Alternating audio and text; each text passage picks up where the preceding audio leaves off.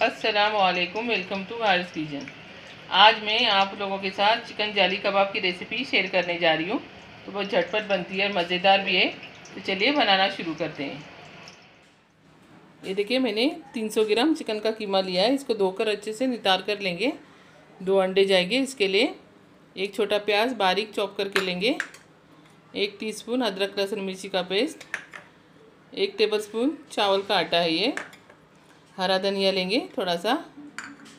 तीन tablespoon bread crumb एक teaspoon कुटी हुई मिर्चें chilli flakes half teaspoon garam masala powder half teaspoon काली मिर्चों का पाउडर और नमक लेंगे स्वाद अनुसार।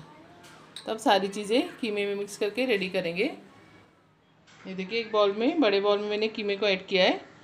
अब इसके अंदर हम लोग सारे मसाले डालेंगे। अदरक, लहसुन, मिर्ची का पेस्ट प्याज डालेंगे।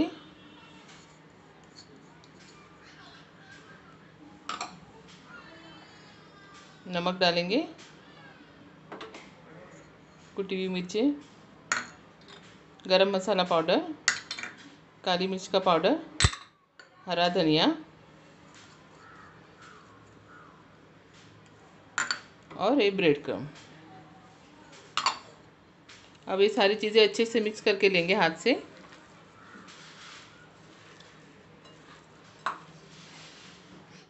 ये देखिए, मैंने अच्छे से मिक्स करके लिया है।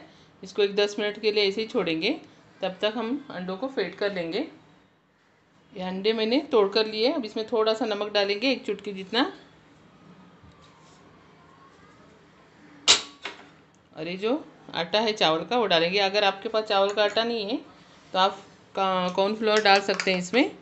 क्योंकि इससे जाली बनती है अच्छी। जाली कबाब बना बना रहे और इसमें थोड़ा अंडा ज़्यादा लगता है।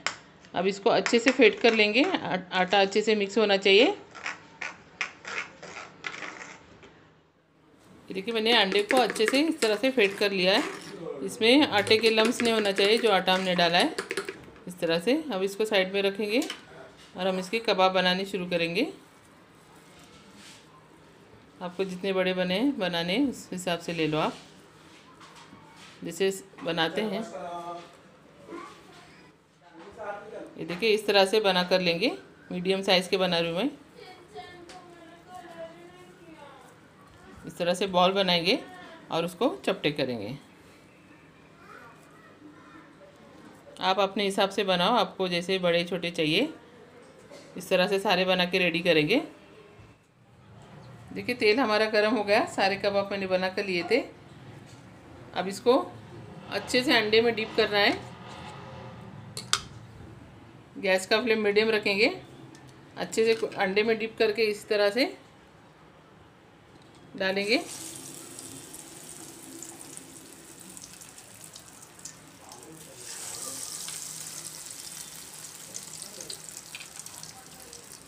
जितना अच्छा डिप करेंगे, वो जाली बनेगी अंडे की।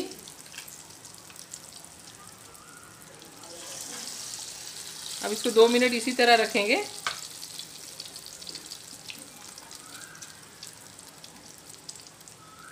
थोड़ा सा इसको अभी इसी तरह टर्न करेंगे। अब अब ये जो अंडा है, इसको हाथों पे इस तरह लेंगे। इसको इस तरह डालना है।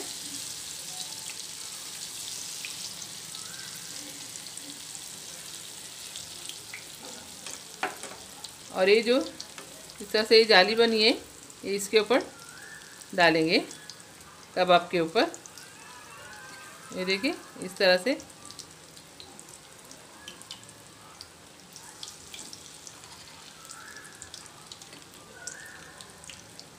अब इसको पलटी करेंगे। ये मैंने पलटी करके लिया है। पलटी करने के बाद फिर एक बार इसको इस तरह से इसके ऊपर अंडे डालेंगे।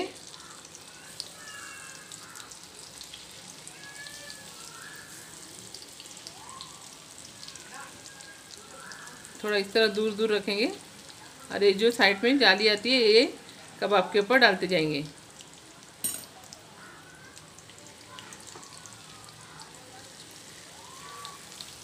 ये देखिए, इस तरह से।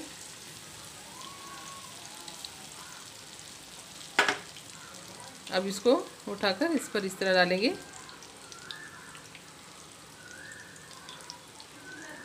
ये देखिए, इस तरह से।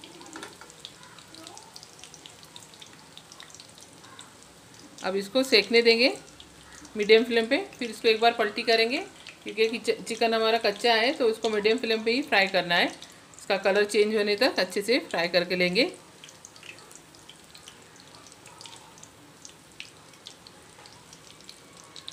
अब देख सकते हैं, देखिए, इस तरह से अंडे की जाली बनना चाहिए।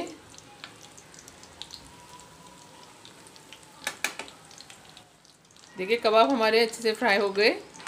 कलर चेंज हो गया। देखिए, इस तरह से जाली आप देख सकते हैं। अंडे की जाली ऐसी बनती है। इसका तेल निकाल के अच्छे से निकालेंगे और बाकी के सारे भी इसी तरह फ्राई करके लेंगे। ये देखिए, हमारे चिकन जाली कबाब बन के तैयार है।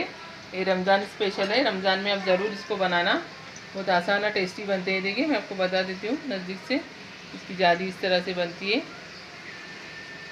इसको आप हरी चटनी, पुदीने की चटनी या केचप के साथ भी खा सकते हैं। और बनाने में एकदम आसान है, झटपट बन जाते हैं।